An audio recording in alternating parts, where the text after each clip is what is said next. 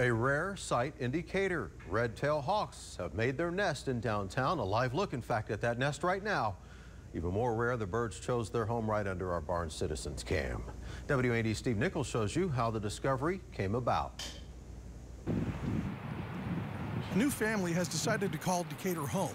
Two weeks back, something bizarre happened. I actually observed a red tail flying in and uh, had a stick in his beak, and he landed on the the upper platform of the fire escape. And as it turns out, home has been built directly below our weather camera on top of the Barn Citizens building. And, uh, the pair of red tails have uh, uh, laid a, an egg. We're, we're suspecting there are two eggs. Hawks and most raptors typically call more rural areas home. Urbanized red tails is not it's not an unheard of thing. It's just not a very common thing. Uh, so they're pretty secretive birds when they nest. They're pretty secretive when they build their nest. Uh, but these guys, um, they pretty much are used to everything. But this pair doesn't seem to be bothered by the downtown traffic and people. She's actually watching us right now. oh my gosh. Head is over the nest.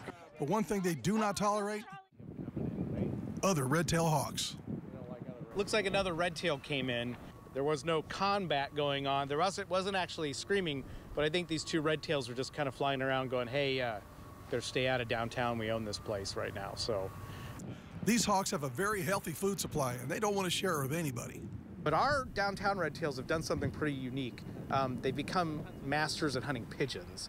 And this is what's so unique about that is because a red-tailed hawk is in a family of hawks called buteos. And buteos are not really built for hunting pigeons. They're built for hitting things on the ground. But these two have adapted and strat- they have a strategy and tactics for taking down these downtown pigeons. With a stable food supply and a secure nest, it appears that this family has a fighting chance. If these guys hatch, I think that's the next step in watching these and this little drama unfold. Do these eggs hatch? And if they do hatch, do these chicks grow up and they fledge?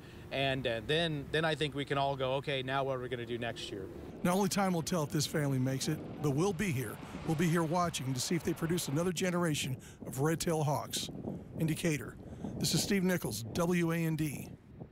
What an opportunity. Here's another live look at the camera pointing right into the nest. We're streaming the camera Monday through Friday from 7 a.m. until 10 a.m. on our Facebook page, WAND News Center 17. Check it out.